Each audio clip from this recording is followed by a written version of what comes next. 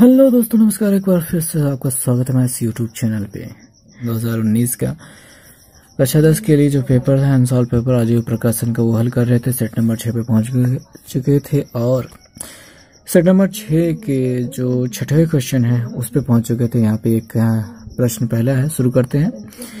एक कुटीर उद्योग एक दिन में कुछ बर्तनों का निर्माण करता है। एक विशेष दिन यह देखा गया कि प्रत्येक नग, यानी जितने बर्तन बने हैं के निर्माण की लागत उस दिन निर्मित किए गए बर्तनों की संख्या के दोगुने से तीन अधिक है। यदि उस दिन कुल निर्माण निर्माण लागत नब्बे रुपए है तो निर्मित बर्तनों की संख्या तथा प्रत्येक नग की लागत आपको ज्ञात करनी है। तो यहाँ पे चलिए तो शुरू करते हैं, देखते हैं कैसे क्या करना है। तो यहाँ पे हम पहले शुरू करते हैं, माना। बर्तनों की संख्या। की जो संख्या है, वो यक्स है, यानी यक्ष नग बर्तन बने हैं। और प्रत्येक बर्तन की लागत, प्रत्येक नग की लागत जो लिखी है, वहाँ पे लिखेंगे प्रत्येक बर्तन की लागत जो है, वो हम वाई रुपए लिख लेते हैं। और पहली शर्त जो है, वहाँ पे कह रहे हैं, प्रथम शर्त जो है, वहाँ पे कह रहे हैं कि प्रत्येक नर नग के निर्माण की लागत जो है, एक बर्तन को निर्माण की जो लागत है, वो वाई रुपए है। ये है बराबर उस दिन निर्माण किए गए बर्तनों की संख्या के दोगुने से तीन अधिक। ये समीकरण नंबर एक बन जाता है। y बराबर हो जाता है दो एक्स प्लस तीन, ये समीकरण नंबर एक होता है। और जो द्वितीय शर्त की बात की जा रही है द्वितीय शर्त से, यहाँ पे कह रहे हैं कुल निर्माण लागत। अगर यहाँ पे हम साथ में लिख देते हैं कि जो शर्त है वो है, वो भी तो प्रत्येक नर, नग की निर्माण लागत। प्रत्येक नग की निर्माण लागत। उस दिन बनाए गए बर्तनों की संख्या के दोगुने से तीन अधिक है। बर्तनों की संख्या के दो गुने से तीन अधिक है। ऐसा लिख देंगे तो हो जाएगा। और कुल निर्माण लागत जो है कुल निर्माण लागत जो मिली है, वो है नब्बे रुपए की।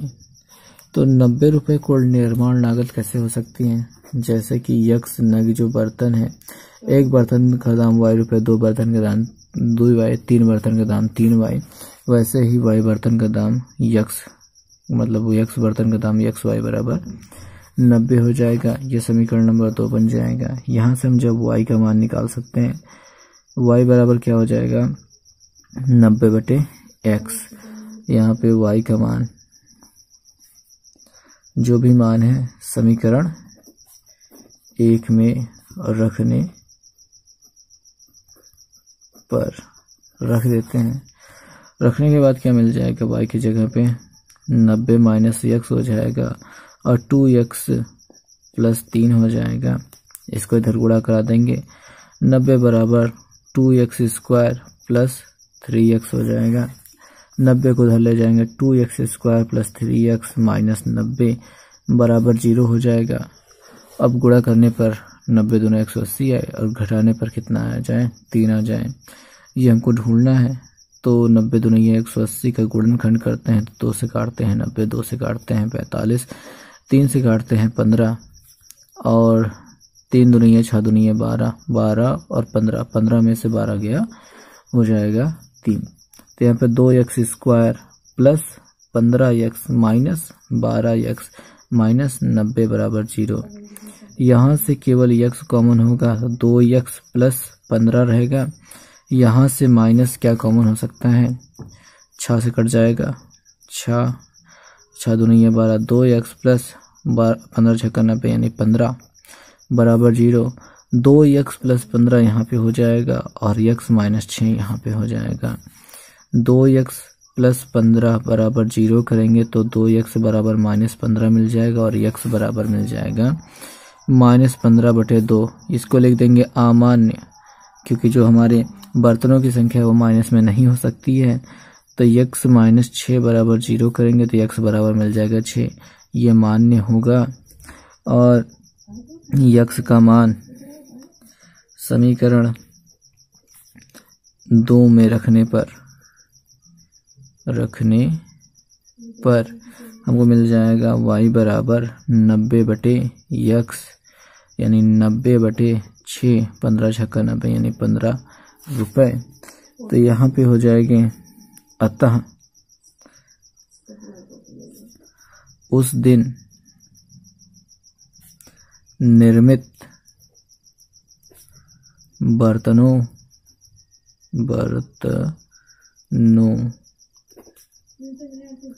बर्तनों की जो संख्या हो जाएगी, अगर हम लिखते हैं, संख्या यक्स बराबर, बर्तनों की संख्या मैंने यक्स माना तो यक्स बराबर छ है।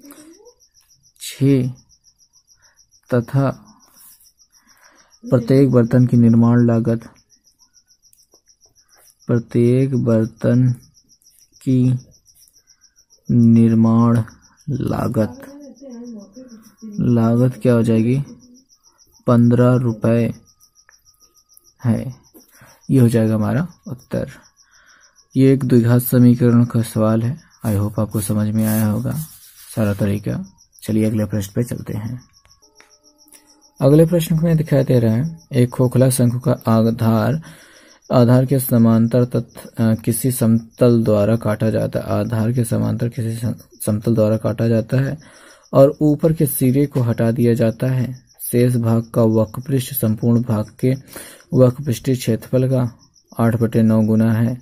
नौ भाग है। ज्ञात कीजिए शंकु किस ऊंचाई से काटा गया है। हमको इसमें अनुपात ज्ञात करना है, क्योंकि उत्तर में भी अनुपात ही दिया जा रहा है। तो हमको अनुपात ज्ञात करना है, ये बहुत मुश्किल सवाल थे। और इम्पोर्टेंट सवाल है, मैंने बहुत कोशिश की तब जाके मुझे जहाँ मिली, क्योंकि अपने से मुझे आई नहीं, और मैंने ये सवाल हल भी नहीं की थी। चलिए शुरू करते हैं।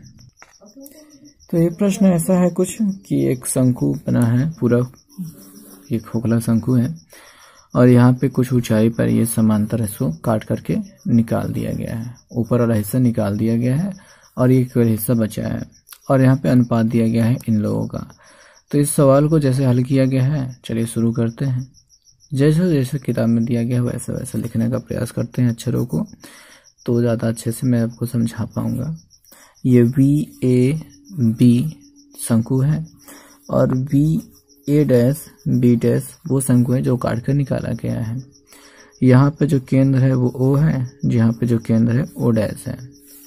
और उसके बाद यहाँ पे डॉट डॉट लाइन इसको खींचा गया है, क्योंकि ये बता बता सकें कि ये निकाला गया है काट करके। और फिर, यहाँ से यहाँ तक की टोटल ऊंचाई जो है, यहाँ से यहाँ तक की टोटल ऊंचाई को एच लिया गया है। और आपको भी कुछ ना कुछ तो लेना ही होगा। तो ये कैपिटल एच लिया गया है और यहाँ से यहाँ तक की ऊंचाई को ये ऊंचाई जो दी गई है, इसको स्मॉल एच लिया गया है। और ये जो तिरछी लंबाई है टोटल वाली तिरछी लंबाई यहाँ पे, ये जो है, इसको लिया गया है एल कैपिटल एल लिया गया है। और ये जो लंबाई है, छोटी वाली, इसको लिया गया है स्मॉल एल और जो त्रिज्या है, इसको कैपिटल आर लिया गया है और इसको स्मॉल आर लिया गया है. बस इतना सब कुछ बन जाने के बाद यहाँ पे लिखाई पढ़ाई इसकी शुरू करते हैं. तो यहाँ पे लिखते हैं, माना वी ए बी वह शंकु है, जिसके आधार के समांतर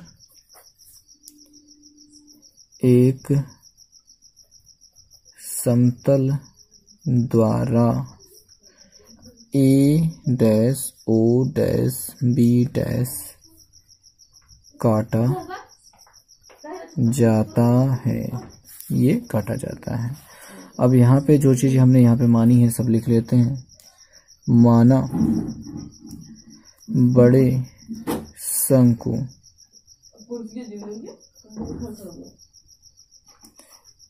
शंकु की ऊंचाई ले लेते हैं। वो हो जाएगी कैपिटल एच और जो तिरक ऊंचाई है। तिरक लंबाई है। उसको कैपिटल एल ले लिया है। आधार की त्रिज्या जो है, आधार की त्रिज्या, इसको कैपिटल आर ले लिया गया है। उसके बाद आ जाते हैं शंकु।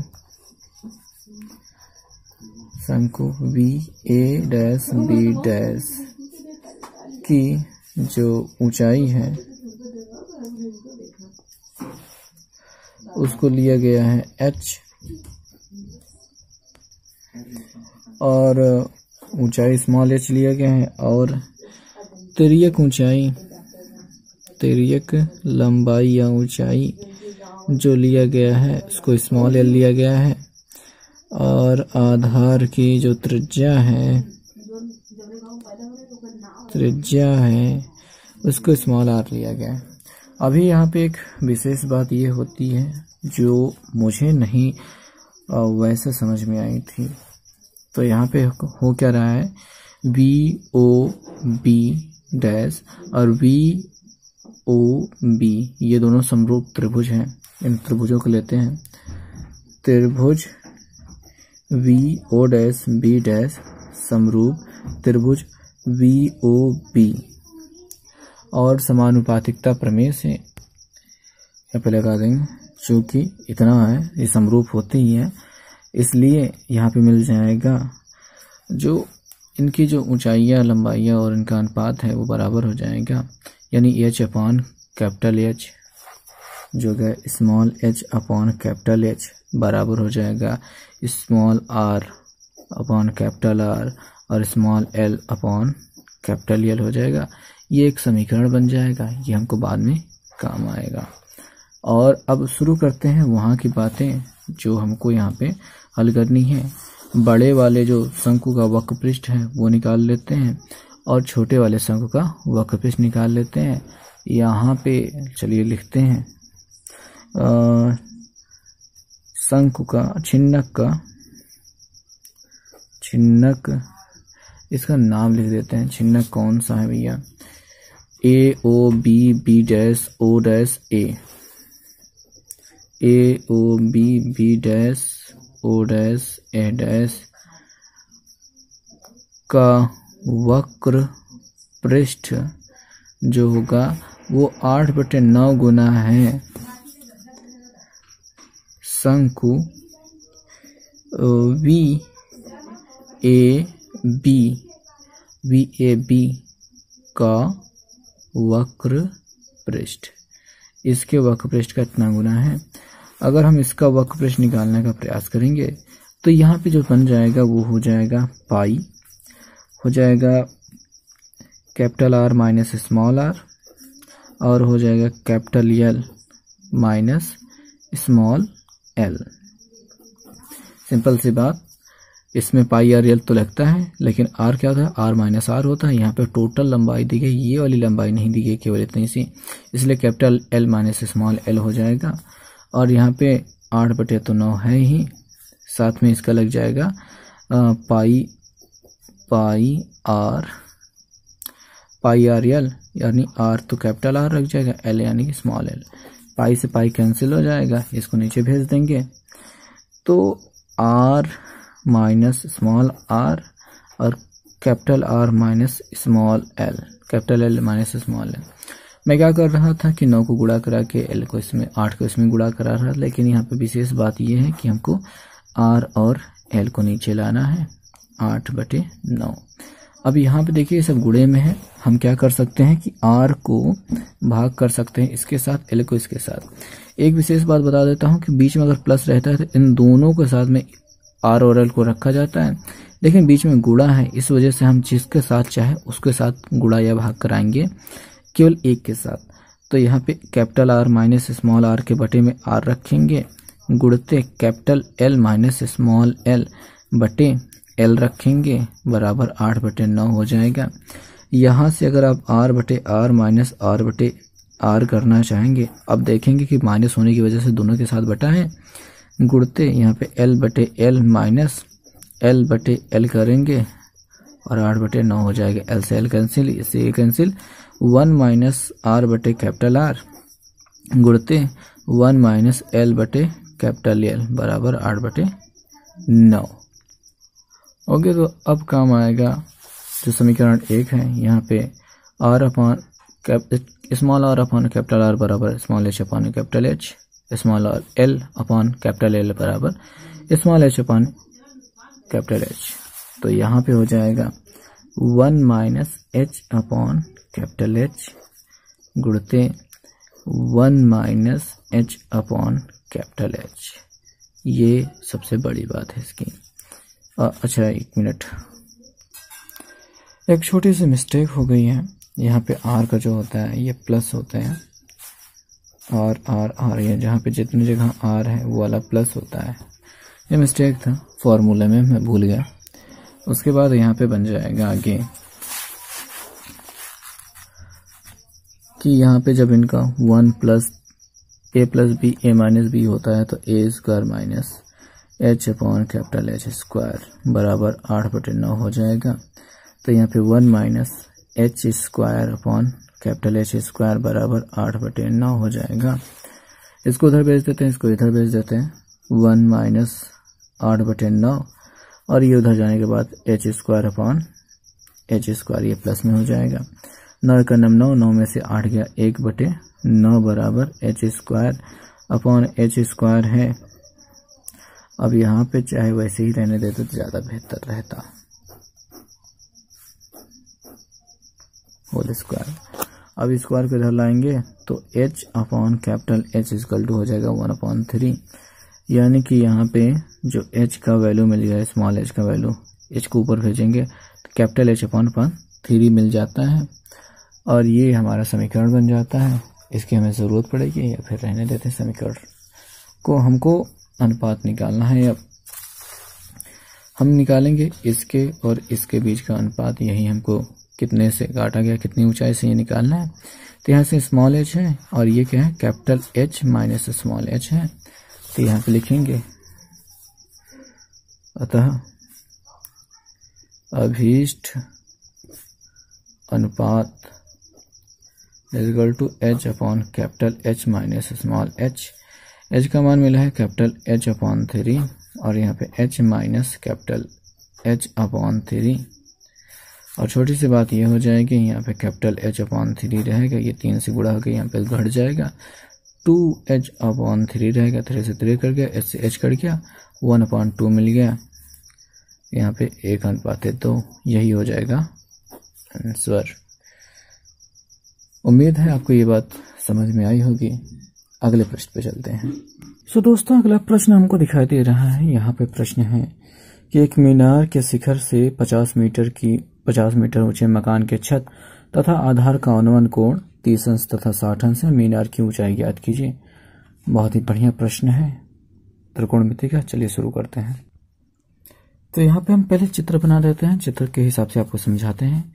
देखिए त्रिकोणमिति में बहुत ज़रूरी है कि आप पहले आधार बनाएँ। आधार बनाने के बाद एक मीनार की बात की जा रही है। ये हो गई मीनार। अब मीनार के हम छत पे खड़े हैं। छत से हम देख रहे हैं एक भवन है जो 50 मीटर का ऊँचा है और इसके छत का अनुमान कोण और आधार का अनुमान कोण, यहाँ से हम अगर अनुमान कोण बनाते हैं और इसका अनुमान कोण बनाते हैं तो बन जाता है कितना? पहले तीस अंश का बनता है, ये दूसरा वाला साठ अंश का बनता है। इसको हम मिला देते हैं, मिलाने के बाद कुछ ऐसा बन जाएगा। A B C D E और एफ़ नाम दिया जाता है। अब इन सबको नाम देने के बाद हम यहाँ पे ऊंचाइयाँ निकालना शुरू करेंगे। आ, सबसे पहले बात तो माना मीनार की ऊंचाई बराबर एच माना मीनार की ऊंचाई बराबर एच मीटर और यहाँ पे बी सी बराबर ए डी बराबर यक्स मीटर, इसको यक्स और यक्स मान लेंगे ताकि हल करना थोड़ा आसान हो। और एफ़ ई ए कोण एफ़ ई ए बराबर कोण ई ए टी यहाँ पे तीस अंश कोण ई ए डी बराबर तीस अंश और कोण एफ़ ई बी बराबर एफ़ ई बराबर यहाँ पे आ जाएगा साठ अंश। कोण ई बी सी बराबर साठ अंश। अब यहाँ पे शुरुआत करते हैं हम, हल करना। देखिए आपको यहाँ पे दो त्रिभुज, दो जगह पे कोण दिखाई दे रहे हैं तो इन्हीं दोनों कोणों को हमको हल करना है टेन लगा करके। तो हम सबसे पहले बात से शुरुआत कर लेते हैं यहाँ से। और ये टेन तीस है। देखते हैं क्या कर सकते हैं इसमें। टोटल तो यच है। अगर इसे पचास दिया गया है तो यहाँ पे भी पचास मीटर होगा। और यहाँ पे पहले और कुछ चीज़ें डाल देते हैं। ए बी, ये जो भवन है, ये भवन की ऊंचाई है। ए बी बराबर, सी डी बराबर पचास मीटर। और यहाँ पे जो डी ई है डी ई ये हो जाएगा एच माइनस पचास मीटर। इतनी सारी चीज़ें हैं, शुरुआत करते थे यहाँ से। यहाँ पे है त्रिभुज ए डी ई में। शुरुआत करेंगे टेन तीस अंश से। लंब बटे आधार, लंब है ई डी अपान आधार है ए डी शुरुआत करेंगे तो यहाँ पे टेन तीस का मान वन पॉइंट रूट थ्री हो जाएगा। ई डी का मान अभी हमने लिखा है एच माइनस पचास और ए डी का मान अपना यक्स है। और यहाँ से हम यक्स का मान निकालेंगे अंडर रूट तीन के ऊपर पहुँचाएँगे तो हो जाएगा एच माइनस पचास अंडर रूट तीन। ये समीकरण नंबर एक बना लेते हैं। अब अगले त्रिभुज में आ जाते हैं त्रिभुज। एक ही बात नहीं है। बी सी ई में। यहाँ पर हमको मिल जाएगा टेन तीस अंश और साठ अंश की बात कर रहे थे। साठ अंश यहाँ पे बन जाएगा ये। बी सी ई में यहाँ पे साठ अंश है। लंब है। ई सी बटे आधार है। बी सी ई सी बटे बी सी टेन साठ का मान रूट थ्री इसका मान हमने रखा है एच बी सी का मान है अपना एक्स और इसको इधर पहुँचा देंगे। रूट थ्री एक्स बराबर एच हो जाएगा एच और यहाँ पे समीकरण एक से प्राप्त एक्स का मान रखने पर। क्या मिल जाएगा? अंडर रूट तीन मिल जाएगा और एक्स की जगह पर रख देंगे एच माइनस पचास और रूट थ्री बराबर इधर है एच यहाँ पे रूट थ्री रूट थ्री का जो है रूट थ्री और रूट थ्री यहाँ पे देखिए। हमने क्या किया? एक्स की जगह केवल इसका मान रख दिया। अब यहाँ पे रूट थ्री रूट थ्री गुड़ा हो जाएगा तो यहाँ पे मिल जाएगा तीन और होगा एच माइनस पचास बराबर एच यहाँ पे गुड़ा करेंगे तो थ्री एच माइनस पंती पंद्रह एक सौ पचास बराबर एच एच इधर लाएँगे। थ्री एच माइनस एच बराबर एक सौ पचास उधर चला जाएगा प्लस में हो जाएगा। टू एच बराबर हो जाएगा एक सौ पचास और एच बराबर हो जाएगा एक सौ पचास बटे दो। भाग करने पर दो सत्ते चौदह, दो पंचे, दस। पचहत्तर मीटर, यहाँ पे देखेंगे अतः। मीनार की ऊंचाई। ऊंचाई पचहत्तर मीटर है। ये हो गया आंसर। बात खत्म होती है। चलते हैं अगले प्रश्न पे। अगला प्रश्न हमको दिखाई दे रहा है यहाँ पे। कह रहे हैं किसी फुटकर बाज़ार में फल विक्रेता पेटियों में रखे आम बेच रहा है। इन पेटियों में आमों की संख्या भिन्न भिन्न है। पेटियों की संख्या के अनुसार आमों का बन आवंटन आवंटन है, निम्नलिखित है। था, आमों की संख्या पचास से बावन जो है, पंद्रह पेटियों में, तिरपन से पचपन जो है। ये एक सौ दस पेटियों में, छप्पन से अट्ठावन जो है, एक सौ पैंतीस पेटियों में। और ऐसे ही दिया गया है। अब इनका समांतर माध्य। यानी कि माध्य हमको ज्ञात करना है। तो यहाँ पे असतत ये वर्ग अंतराल दिया गया है। इसको सतत भी बनाना होगा। उसके बाद यहाँ पे हल करेंगे। देखते हैं कैसे करना है। तो यहाँ पे आप देख रहे हैं प्रश्न में, पेटियों के अनुसार आमों का बंटन जो है, आमों की संख्या यहाँ पे पचास से बावन बावन, तिरपन से पचपन दी गई है। और ये पेटियों की संख्या हो गई है। यहाँ पे क्या है कि ये जो कि है जो असतत असतत वर्ग अंतराल है। ठीक? अब इसको सतत वर्ग अंतराल बनाने के लिए करेंगे क्या? इसमें जो अंतर हो रहा है, एक वर्ग की उच्च सीमा। उच्च सीमा तथा अगले वर्ग की निम्न सीमा के अंतर का आधा प्रत्येक निम्न सीमा में घटाने व उच्च सीमा में जोड़ने पर।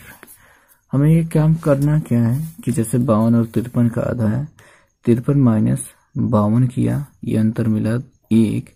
अब इसका आधा जो है एक बटे दो बराबर ज़ीरो दशमलव पाँच। अब आगे करते क्या है कि यहाँ पे हमको मिल गया है ज़ीरो दशमलव पाँच। करना क्या है कि जो निम्न सीमा है, उनमें ज़ीरो दशमलव पाँच को घटाते जाना है, उच्च सीमाओं में ज़ीरो दशमलव पाँच को जोड़ते जाना है और पेटियों की संख्या साथ में लिखते जाना है। इस प्रकार हमारा सतत प्राप्त सतत वर्ग अंतराल मिल जाएगा। यहाँ पे वर्ग अंतराल सतत रूप में प्राप्त हो जाएगा। तो यहाँ पे सतत वर्ग अंतराल जो हमें मिल जाता है, वो इस प्रकार मिल जाता है कि यहाँ पे आमों की संख्या। चलिए करना शुरू करते हैं। पचास में से अगर ज़ीरो दशमलव पाँच घटाएँगे तो ये उनचास दशमलव पाँच हो जाएगा और ये हो जाएगा बावन दशमलव पाँच। तिरपन में जब घटाएँगे तो ये हो जाएगा बावन दशमलव पाँच और ये हो जाएगा पचपन दशमलव पाँच। और ये हो जाएगा पचपन दशमलव पाँच घटाने पर और ये जोड़ने पर हो जाएगा अट्ठावन दशमलव पाँच। इसको घटाने पर हो जाएगा अट्ठावन दशमलव पाँच और ये हो जाएगा इकसठ दशमलव पाँच। ये हो जाएगा इकसठ दशमलव पाँच और ये हो जाएगा चौंसठ दशमलव पाँच। ये हो जाएगा इनके वर्ग अंतराल जो सतत रूप में मिलेगा। हमने किया किया, इसमें से घटाते चले गए, इसमें जोड़ते चले गए, यही होता है तरीका। पेटियों की संख्या जो है पंद्रह, एक सौ दस, एक सौ पैंतीस, एक सौ पंद्रह और पच्चीस लिख ही लेते हैं। और अब इतना सब कुछ मिलने के बाद हमको क्या निकालना होता है? एक्स का मान निकालना होता है, जो मिलता है इन दोनों को जोड़ करके दो से भाग देने पर। आप क्या कीजिएगा, इनको दो के, जोड़ के दो से भाग करके देख लीजिएगा ट्राई कीजिएगा। मैंने किया और मुझे मिला है इक्यावन। अगर आप ध्यान से देखेंगे ये जो पहले वाली संख्या थी, इनके बीच की जो संख्या गायब है, वही है अपनी इक्यावन। इनकी संख्या बीच की जो गायब है, वो है चौवन। और अगर इनको दोनों को जोड़ करके भाग देंगे तो वो भी चौवन ही मिलेगा। ऐसे ही ट्राई करके देख लीजिएगा। वैसे यहाँ पे, हम यहाँ पे देख रहे हैं, तीन जोड़ रहे हैं तो यहाँ पे भी तीन जुड़ेगा, और ये सत्तावन हो जाएगा। इन दोनों के बीच वाली संख्या मिल जाएगी साठ, और यहाँ पे दोनों के बीच की संख्या मिल जाएगी तिरसठ। ये हो जाएगा अपना हल करने का तरीका यहाँ पे एक्स का मान। अब एफ़ एक्स की बारी आती है एफ़ एक्स निकालना है, पर आप देख रहे हैं कि ये जो पेटियों की संख्या एफ़ है और ये जो एक्स है तो दोनों बड़े बड़े गिनतियाँ हैं, इनको गुणा करना थोड़ा मुश्किल है। तो आसान करने का तरीका जो माध्य विचलन विधि द्वारा होता है, यहाँ पे हम बीचों बीच वाली एक संख्या को ए मान लेते हैं और यहाँ पे डी की शुरुआत कर देते हैं। जो डी होता है, वो यक्स माइनस ए होता है। यानी यक्स वाली जितनी भी संख्या है, उसमें से ये ए जिसको हमने माना है, उसको घटाते जाएँगे। यानी हम सत्तावन को सभी में घटाते जाएँगे। जब घटाएँगे इक्यावन में से सत्तावन को तो यहाँ पे मिल जाएगा माइनस छ अब घटा के देख लीजिए। जब चौवन में सत्तावन को घटाएँगे तो माइनस तीन मिल जाएगा। सत्तावन में सत्तावन को घटाएँगे, ज़ीरो मिल जाएगा। साठ में सत्तावन को घटाएँगे, तीन मिलेगा। तिरसठ में सत्तावन को घटाने पे छः मिल जाएगा। और अब बारी आ जाती है उसकी, जो गुणा करने के बाद मिलता है। यानी कि एफ़ इंटू डी की। एक्स भूल जाइए अब। एफ़ इंटू डी को गुणा करना है पंद्रह छक्का नब्बे। माइनस में। और ग्यारह तिहाई तैंतीस हो जाएगा। तीन सौ तीस माइनस में पैंतीस ज़ीरो में। ये ज़ीरो हो जाएगा। सबसे बड़ी बात तो यही होती है कि यहाँ पे ज़ीरो हो जाता है। इनको गुणा करते हैं। पाँच तिहाई पंद्रह से लगे एक, तीन का नम तीन। एक चार और तीन का नम तीन। और पच्चीस छक्का एक सौ पचास होता है, इसको लिख लेते हैं। पच्चीस चौका सौ, पच्चीस छक्का एक सौ पचास। और अब बारी आ जाती है सिग्मा एफ़ की, इनको जोड़ने की। तो इनको जोड़ते हैं, पाँच ज़ीरो पाँच पाँच पाँच। तो यहाँ पे पाँच चार बार है, पाँच चौके बीस का ज़ीरो से लगे एक, दो। और हो जाएगा एक, दो, तीन, एक, दो दो, तीन, पाँच। पाँच एक छः छः दो आठ आठ दो दस। हासिल जोड़ने पर ये दस हो जाएगा। हासिल लगा अभी एक एक एक एक। ये तीन हो गया, तीन एक, चार। यहाँ पे चार सौ मिल गया। और जो सिग्मा एफ़ डी निकालने की बारी आ जाएगी, एफ़ डी तो यहाँ पे देखेंगे प्लस वाली गिनतियाँ और माइनस वाली गिनतियाँ अलग अलग हैं। इनको हमको जोड़ना और घटाना भी होगा। तो हमको क्या करना है कि हम प्लस वाला जोड़ लेते हैं पहले। ये पाँच हो जाएगा, पाँच नौ हो जाएगा और यहाँ पे चार हो जाएगा माइनस। इनको जोड़ने पर ज़ीरो हो जाएगा नौ, तीन, बारह और ये चार चार सौ बीस। घटाने के बाद हो जाएगा पाँच में से ज़ीरो गया पाँच, नौ में से दो गया सात, चार में से चार गया काम खत्म। अब जो आ जाती है बात आमों के माध्य की संख्या की। आमों की माध्य संख्या, जो इनकी निकालने की बारी आ जाती है तो वो हो जाता है A plus sigma F D upon sigma F तो यहाँ पे ए यानी कि जो अपना एम माने थे, ये सत्तावन, यहाँ पे सत्तावन रख देना है प्लस सिग्मा फिफ्टी यानी कि पचहत्तर हो जाएगा, और सिग्मा एफ़ यानी कि यहाँ पे चार सौ हो जाएगा। अब इसको हल करना है तो यहाँ पे सत्तावन प्लस ये पचहत्तर है, बटे ये चार गुड़ते सौ है। पच्चीस तीन, पचहत्तर, पच्चीस चौका सौ होता है, और ऊपर मिल गया तीन, नीचे मिल गया चार चौक सोलह। तो यहाँ पे सत्तावन प्लस तीन बड़े सोलह। करेंगे क्या? इससे इसमें भाग करेंगे। सोलह से भाग करेंगे तीन में। दशमलव ज़ीरो बढ़ाएँगे। सोलह दूनी बत्तीस सोलह का नम। सोलह जाएगा। बचेगा चार एक चौदह। फिर ज़ीरो बढ़ेगा और सोलह अट्ठे। सोलह अट्ठे होता है एक सौ अट्ठाईस। हम्म, आठ छः अड़तालीस से लेकर चार। आठ कम आठ आठ चार बारह एक सौ अट्ठाईस। घटाने के बाद मिल जाएगा दो और मिल जाएगा एक, बारह। और फिर ऐसे बढ़ता चला जाएगा। ज़्यादा कुछ हमको करना नहीं है। जो भी आएगा, बड़ी गिनती आएगी। यहाँ पे सत्तावन दस प्लस ये हो जाएगा ज़ीरो दशमलव एक आठ या फिर एक नौ ले लेंगे, क्योंकि बड़ी गिनती मिलने वाली है। तो हो जाएगा ये सत्तावन दशमलव एक नौ। ये हो जाएगा अपना आंसर। ये हो गया माध्यमों की संख्या। तो वीडियो आपको कैसा लगा? सवाल आपको कैसी लगी? समझ में आई कि नहीं आई है? कमेंट में करके ज़रूर बताइएगा। और शेयर कीजिए दोस्तों के साथ, चैनल को सब्सक्राइब कीजिए। अगर थोड़ा बहुत मैं ठीक ठाक पढ़ा रहा हूँ तो तो धन्यवाद। चलिए बात को ख़त्म करते हैं।